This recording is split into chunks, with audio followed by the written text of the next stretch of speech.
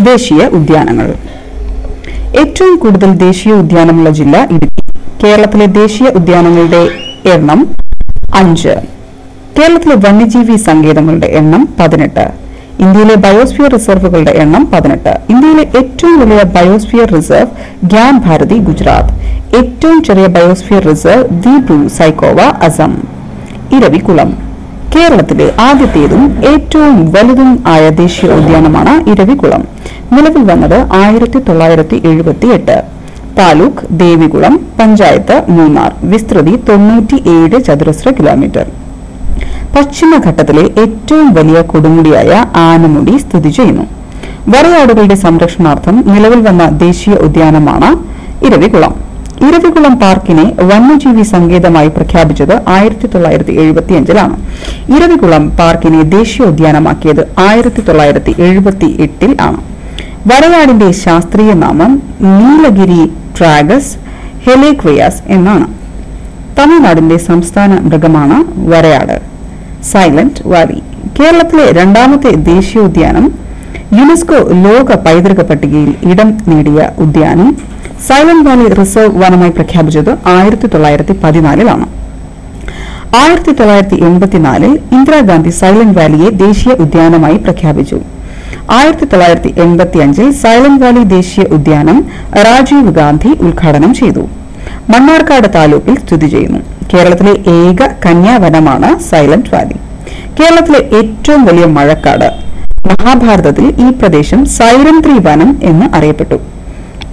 Silent Valley എന്ന പേര് നിർദ്ദേശിച്ചത് ബ്രിട്ടീഷുകാരനായ റോബർട്ട് വൈറ്റ് ആണ് വംശനാശം സംഭവിക്കുന്ന സിംഹവാലം കുരങ്ങുകൾ കാണപ്പെടുന്നു. രണ്ടായിരത്തി ഏഴിൽ ബഫർ സോണായി പ്രഖ്യാപിച്ചു. സിംഹവാലൻ കുരങ്ങിന്റെ ശാസ്ത്രീയ നാമം മക്കാക്ക സീനസ് സിംഹവാലം കുരങ്ങുകളുടെ ഇഷ്ട ഭക്ഷണം വെടിച്ചക്ക ആണ്. വെടിപ്ലാവിന്റെ ശാസ്ത്രീയ നാമം കുളനീയ എക്സറിലേറ്റ. സൈലന്റ് വാലിയിലൂടെ ഒഴുകുന്ന പുഴയാണ് കുന്തിപ്പുഴ. സൈലന്റ് വാലിയിൽ നിന്നും ഉദ്ഭവിക്കുന്ന നദിയാണ് തൂതപ്പുഴ. കേരളത്തിൽ മലിനീകരണം ഏറ്റവും കുറഞ്ഞ നദി കുന്തിപ്പുഴയാണ്. ലോക പൈതൃക പട്ടികയിൽ ഉൾപ്പെടുന്ന ദേശീയോദ്യാനം ഏറ്റവും കൂടുതൽ ജൈവവൈദ്യമുള്ള ദേശീയോദ്യാനം സൈലന്റ് വാലി സ്റ്റാമ്പ് പുറത്തിറങ്ങിയ വർഷം രണ്ടായിരത്തി ഒൻപതിലാണ് സൈലന്റ് വാലിയിൽ കണ്ടുവരുന്ന ഗോത്ര വിഭാഗങ്ങളാണ് ഇരുളർ മുടുകർ. സൈലന്റ് വാലിയിൽ കണ്ടുവരുന്ന പക്ഷിയാണ് ബ്ലാക്ക് ബുൾബുൾ. കുന്തിപ്പുഴയിൽ തുടങ്ങാനിരിക്കുന്നതും പിന്നീട് റദ്ദാക്കിയതുമായ ജലവൈദ്യുത പദ്ധതിയാണ് പാത്രക്കടവ് പദ്ധതി. സൈലന്റ് വാലി ഉൾപ്പെടുന്ന ബയോസ്ഫിയർ റിസർവ് നീലഗിരി എന്ന് അറിയപ്പെടുന്നു. സൈലന്റ് വാലിയിൽ മാത്രം കണ്ടുവരുന്ന ഓർക്കിഡാണ് ഏരിയ ത്യാഗി. സൈലന്റ് വാലിയോട് ചേർന്ന് സ്ഥിതി ചെയ്യുന്ന തമിഴ്നാട്ടിലെ ദേശീയ ഉദ്യാനമാണ് മുക്കുരുത്തി ഇടുക്കി ജില്ലയ്ക്ക് പുറത്തുള്ള കേരളത്തിലെ ദേശീയ ഉദ്യാനവും സൈലന്റ് വാലിയാണ്. ആനമുടി ചോല. ഏഴ് ദശാംശം അഞ്ച് ചതുരശ്ര കിലോമീറ്ററാണ് ആനമുടി ചോലയുടെ വിസ്തൃതി. താലൂക്ക് ഉടുമ്പൻ ചോല. രണ്ടായിരത്തി മൂന്നിൽ നിലവിൽ വന്നു. ജുറാസിക് കാലഘട്ടത്തിൽ ഉണ്ടായിരുന്ന ട്രീ ഫെയിൻ പന്നൽ ചെടി കണ്ടുവരുന്ന കേരളത്തിലെ ദേശീയ ഉദ്യാനമാണ് ആനമുടി ചോല. മതികെട്ടാൻ ചോല വിസ്തൃതി പന്ത്രണ്ട് ദശാംശം എട്ട് രണ്ട് ചതുരശ്ര കിലോമീറ്റർ. നിലവിൽ വന്നത് രണ്ടായിരത്തി മൂന്ന് താലൂക്ക് ഉടുമ്പൻ ചോല. ചോലക്കാടുകളുടെയും ആനത്താവളങ്ങളുടെയും സംരക്ഷണത്തിനായി നിലവിൽ വന്ന ദേശീയ ഉദ്യാനമാണ് മതികെട്ടാൻ മല. ദ്രാവിഡ ജക്കോ എന്ന ജനസിൽപ്പെടുന്ന പല്ലിയെ കണ്ടുവരുന്ന പ്രദേശമാണ് ആനമല. പാമ്പാടും ചോല വിസ്തൃതി ഒന്ന് ദശാംശം എട്ട് രണ്ട് ചതുരശ്ര കിലോമീറ്റർ. താലൂക്ക് ഉടുമ്പൻചോല പഞ്ചായത്ത് വട്ടവട നിലവിൽ വന്നത് രണ്ടായിരത്തി മൂന്ന് കേരളത്തിലെ ഏറ്റവും ചെറിയ ദേശീയ ഉദ്യാനമാണ് പാമ്പാടും ചോല. കേന്ദ്ര വനം വകുപ്പിന്റെ കണക്കനുസരിച്ച് കേരളത്തിലെ ദേശീയ ഉദ്യാനങ്ങളുടെ എണ്ണം ആറാണ്. പെരിയാർ വന്യജീവി സങ്കേതത്തെ കേന്ദ്ര വനം മന്ത്രാലയം ദേശീയോദ്യാനമായാണ് കണക്കാക്കിയിരുന്നത് വനം വന്യജീവി സങ്കേതം കേരളത്തിന്റെ വനവിസ്തൃതി. പതിനൊന്നായിരത്തി മുന്നൂറ്റി ഒൻപത് ദശാംശം നാല് ഏഴ് അഞ്ച് നാല് ചതുരശ്ര കിലോമീറ്റർ ആണ് റിസർവ് വന വിസ്തൃതി ഒമ്പതിനായിരത്തി ഒരുന്നൂറ്റി എഴുപത്തി ആറ് ദശാംശം മൂന്ന് പൂജ്യം ഒന്ന് ആറ് ചതുരശ്ര കിലോമീറ്റർ ആണ് ഇന്ത്യൻ സംസ്ഥാനങ്ങൾക്കിടയിൽ വനവിസ്തൃതിയിൽ കേരളത്തിന്റെ സ്ഥാനം പതിനാലാണ്. കേരളത്തിന്റെ ആകെ ഭൂവിസ്തൃതിയുടെ ഇരുപത്തി ഒൻപത് ദശാംശം ഒന്ന് പൂജ്യം ഒന്ന് ശതമാനമാണ് വനപ്രദേശം. ഇന്ത്യൻ പരിസ്ഥിതി ശാസ്ത്രത്തിന്റെ പിതാവാണ് ആർ. മിശ്ര. ഇന്ത്യൻ വനശാസ്ത്രത്തിന്റെ പിതാവ് ഡീഫ്രിച്ച് ബാൻഡിറ്റ് ആണ്. ഇന്ത്യയിൽ വനമഹോത്സവം ആരംഭിച്ചത് കെ. എം. മുൻഷി ആയിരത്തി തൊള്ളായിരത്തി അൻപതിലാണ് കേരള വനവൽക്കരണ പദ്ധതി ആരംഭിച്ചത് ആയിരത്തി തൊള്ളായിരത്തി തൊണ്ണൂറ്റി എട്ടിലാണ് വനഭൂമി കൂടുതലുള്ള കേരളത്തിലെ ജില്ല ഇടുക്കിയാണ്. വനഭൂമി ഏറ്റവും കുറഞ്ഞ ജില്ല ആലപ്പുഴയാണ്. ശതമാന അടിസ്ഥാനത്തിൽ ഏറ്റവും കൂടുതൽ വനഭൂമിയുള്ള ജില്ല വയനാടാണ്. വനവിസ്തൃതിയുടെ അടിസ്ഥാനത്തിൽ രണ്ടും മൂന്നും സ്ഥാനങ്ങൾ. വയനാട് പത്തനംതിട്ട ഇന്ത്യയിലെ ആദ്യ കമ്മ്യൂണിറ്റി റിസർവ് കടലുണ്ടി ആണ്. രണ്ടായിരത്തി ഏഴിലാണ് ഇത് നിലവിൽ വന്നത്. കേരളത്തിലെ ആദ്യ ബയോളജിക്കൽ പാർക്ക് അഗസ്ത്യാർകൂടം ആയിരത്തി തൊള്ളായിരത്തി തൊണ്ണൂറ്റിയേഴ് കേരളത്തിൽ ആകെ വനം ഡിവിഷനുകൾ മുപ്പത്തി ആറ് എണ്ണമാണ്. കേരളത്തിലെ ആദ്യ വനം ഡിവിഷൻ കോന്നി. കോന്നി വനമേഖലയിൽ കേരളത്തിലെ ആദ്യ റിസർവ് വനമായി പ്രഖ്യാപിച്ചത് ആയിരത്തി എണ്ണൂറ്റി എൺപത്തിയെട്ടിൽ ഒക്ടോബർ ഒൻപതിനാണ്. കേരളത്തിലെ ഏറ്റവും വലിയ വനം ഡിവിഷൻ റാന്നി പത്തനംതിട്ടയിലാണ്.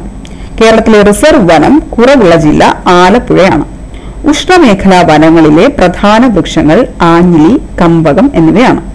കേരളത്തിലെ നിത്യഹരിത വനമാണ് സൈലന്റ് വാലി പാലക്കാട്. കേരളത്തിൽ ചന്ദന മരങ്ങൾ കാണപ്പെടുന്നത് മറയൂരാണ്. കേരളത്തിൽ വനപ്രദേശങ്ങളിൽ ഏറ്റവും കൂടുതൽ കൃഷി ചെയ്യപ്പെടുന്ന വൃക്ഷം തേക്കാണ്. രണ്ടാമത് യൂക്കാലിപ്റ്റസ്. ലോകത്തിലെ ഏറ്റവും പഴയ തേക്കിൻ തോട്ടം കനോലി പ്ലോട്ട് നിലമ്പൂരാണ് സ്ഥിതി ചെയ്യുന്നത്. കേന്ദ്ര ഗവൺമെന്റിന്റെ മഹാവൃക്ഷ പുരസ്കാരം ലഭിച്ചത് കന്നിമരം തേക്കിനാണ്. കേരളത്തിന്റെ വനങ്ങൾ. തിരുവിതാംകൂർ വനനിയമം ആയിരത്തി എണ്ണൂറ്റി എൺപത്തിയേഴ് കേരള വനനിയമം ആയിരത്തി തൊള്ളായിരത്തി അറുപത്തി ഒന്ന് കേരള ഫോറസ്റ്റ് റിസർച്ച് ഇൻസ്റ്റിറ്റ്യൂട്ട് ആയിരത്തി തൊള്ളായിരത്തി എഴുപത്തി അഞ്ച് കേരള വനസംരക്ഷണ നിയമം ആയിരത്തി തൊള്ളായിരത്തി എൺപത് കേരള വൃക്ഷ സംരക്ഷണ നിയമം ആയിരത്തി തൊള്ളായിരത്തി എൺപത്തി ആറ് പരിസ്ഥിതി സംരക്ഷണ നിയമം ആയിരത്തി തൊള്ളായിരത്തി എൺപത്തി ആറ് വനം. സുന്ദരമാക്കാം ഈ ഭൂമി വനവത്കരണ പരിപാടികൾ. വനവിഭവങ്ങൾ സമാഹരിച്ച് വിപണനം ചെയ്യുന്നതിനുള്ള സംരംഭം വനശ്രീ. തീരപ്രദേശത്തെ ജൈവ സംരക്ഷണം ലക്ഷ്യമാക്കി കേരളത്തിലെ വനം വകുപ്പും ഫിഷറീസും സംയുക്തമായി നടപ്പാക്കിയ പദ്ധതിയാണ് ഹരിത തീരം കേരളത്തെ ഹരിതാപമാക്കാൻ സ്കൂൾ തലത്തിൽ ആരംഭിച്ച പദ്ധതിയാണ് എന്റെ മരം. കേരളത്തെ ഹരിതാപമാക്കാൻ കോളേജ് തലത്തിൽ ആരംഭിച്ച പദ്ധതിയാണ് നമ്മുടെ മരം. വനം വകുപ്പും ട്രേഡ് യൂണിയൻ പ്രവർത്തകരും സംയുക്തമായി നടപ്പിലാക്കിയ പദ്ധതിയാണ് വഴിയോര തണൽ അഥവാ ഹരിത കേരളം. രണ്ടായിരത്തി മൂന്ന് ജൂൺ ഒൻപത് വഴിയോര തണൽ പദ്ധതിയുടെ ബ്രാൻഡ് അംബാസിഡർ ജയറാമാണ് പ്രകൃതിയെ അറിയാനും ആദരിക്കാനും കുട്ടികളെ പ്രാപ്തമാക്കാനുള്ള വിദ്യാഭ്യാസ വകുപ്പിന്റെ പദ്ധതിയാണ് മണ്ണെഴുത്ത്. കേന്ദ്ര സർക്കാരിന്റെ ഇന്ദിരാ പ്രിയദർശിനി വൃക്ഷമിത്ര പുരസ്കാരം ലഭിച്ച കേരളത്തിന്റെ പദ്ധതിയാണ് എന്റെ മരം പദ്ധതി. രണ്ടായിരത്തി പതിനെട്ടിലെ പരിസ്ഥിതി ദിനത്തിന്റെ പ്രമേയം ആണ് beat plastic pollution. Biosphere reserve. ഇന്ത്യയിലെ ആദ്യത്തെ ബയോസ്ഫിയർ റിസർവ് നീലഗിരിയിലാണ്. നീലഗിരി ബയോസ്ഫിയർ റിസർവ് നിലവിൽ വന്ന വർഷം ആയിരത്തി തൊള്ളായിരത്തി എൺപത്തി ആറിലാണ് കേരളത്തിലെ രണ്ട് ബയോസ്ഫിയർ റിസർവുകൾ നീലഗിരി ബയോസ്ഫിയർ ആയിരത്തി തൊള്ളായിരത്തി എൺപത്തിയാറ് അഗസ്ത്യമല ബയോസ്ഫിയർ രണ്ടായിരത്തി ഒന്ന് കേരള വനം വകുപ്പിന്റെ ആസ്ഥാനം Thiruvananthapuram വഴുതക്കാടാണ്. Kerala forest development corporation Kottayam. Kerala വനം വകുപ്പിന്റെ പ്രസിദ്ധീകരണം Aranyakam. Tropical botanical garden and research institute of Kerala Palode തിരുവനന്തപുരമാണ്. Kerala forest research institute Peechi തൃശൂരിലാണ്. Periyar വന്യജീവി സങ്കേതം. കേരളത്തിലെ ആദ്യ വന്യജീവി സങ്കേതം ഇന്ത്യയിലെ പത്താമത്തെ കടുവ സങ്കേതം കേരളത്തിലെ ഏറ്റവും വലിയ വന്യജീവി സങ്കേതം തൊള്ളായിരത്തി ഇരുപത്തി അഞ്ച് ചതുരശ്ര കിലോമീറ്റർ. ആയിരത്തി തൊള്ളായിരത്തി മുപ്പത്തിനാലിൽ നെല്ലിക്കാമ്പെട്ടി എന്ന പേരിൽ പെരിയാർ വന്യജീവി സങ്കേതം സ്ഥാപിച്ചത് ശ്രീ ചിത്തിര തിരുനാൾ ആയിരുന്നു. പെരിയാർ വൈൽഡ് ലൈഫ് സാങ്ച്വറി ആയത് ആയിരത്തി തൊള്ളായിരത്തി അൻപതിലാണ് പെരിയാർ ടൈഗർ റിസർവായി പ്രഖ്യാപിക്കപ്പെട്ട വർഷം ആയിരത്തി തൊള്ളായിരത്തി എഴുപത്തി എട്ടിലാണ് പെരിയാർ ദേശീയ ഉദ്യാനമായത് ആയിരത്തി തൊള്ളായിരത്തി എൺപത്തിരണ്ടിലാണ് പെരിയാർ വന്യജീവി സങ്കേതത്തിൽ പ്രൊജക്ട് എലിഫന്റ് പദ്ധതി ആരംഭിച്ചത് ആയിരത്തി തൊള്ളായിരത്തി തൊണ്ണൂറ്റി രണ്ടിലാണ് പെരിയാർ യുനെസ്കോ പൈതൃക പട്ടികയിൽ ഇടം നേടിയ വർഷം രണ്ടായിരത്തി പന്ത്രണ്ടിലാണ് പെരിയാർ ടൈഗർ റിസർവിനുള്ളിൽ തമിഴ്നാട് അതിർത്തിയോട് ചേർന്ന് കിടക്കുന്ന പ്രദേശമാണ് മംഗളാദേവി ക്ഷേത്രം. ലോക ബാങ്ക് ബക്കർലിപ്പ് എന്ന പേരിൽ ഒരു പഠന പദ്ധതി തയ്യാറാക്കുന്ന കേരളത്തിലെ വന്യജീവി സങ്കേതമാണ് പെരിയാർ. ശബരിമല തീർത്ഥാടന കേന്ദ്രം സ്ഥിതി ചെയ്യുന്ന വന്യജീവി സങ്കേതം പെരിയാറാണ്. പെരിയാർ വന്യജീവി സങ്കേതം സ്ഥിതി ചെയ്യുന്ന താലൂക്ക് പീരുമേട് ആണ്. പീച്ചി വാഴാനി വന്യജീവി സങ്കേതം. നിലവിൽ വന്നത് ആയിരത്തി തൊള്ളായിരത്തി അൻപത്തി എട്ട് സ്ഥിതി ചെയ്യുന്ന താലൂക്കുകൾ തൃശൂർ താലപ്പള്ളി വിസ്തൃതി നൂറ്റി ഇരുപത്തി അഞ്ച് ചതുരശ്ര കിലോമീറ്റർ. പീച്ചി വാഴാനി അണക്കെട്ടുകൾ സ്ഥിതി ചെയ്യുന്നു. വന്യജീവി സങ്കേതം. പീച്ചി വാഴാനി വന്യജീവി സങ്കേതത്തിലൂടെ ഒഴുകുന്ന നദിയാണ് ചാലക്കുടി പുഴ നെയ്യാർ വന്യജീവി സങ്കേതം. നിലവിൽ വന്നത് ആയിരത്തി തൊള്ളായിരത്തി അൻപത്തി എട്ട് വിസ്തൃതി നൂറ്റി ഇരുപത്തി എട്ട് ചതുരശ്ര കിലോമീറ്റർ. താലൂക്ക് കാട്ടാക്കട കേരളത്തിലെ ഏറ്റവും തെക്കേയറ്റത്തെ വന്യജീവി സങ്കേതമാണ്. കേരളത്തിലെ ഏക സിംഹ സഫാരി പാർക്ക് മരക്കുന്നം നെയ്യാർ. കേരളത്തിൽ സിംഹങ്ങളെ തുറന്നുവിട്ടിരിക്കുന്ന പ്രദേശം മരക്കുന്നം ദ്വീപാണ്. ഹൈദരാബാദിലെ Nehru zoological park മാതൃകയിലാണ് Neyyar lion safari park. Agasthya Shaila താഴ്വര സ്ഥിതി ചെയ്യുന്ന വന്യജീവി സങ്കേതവും ഇതുതന്നെ.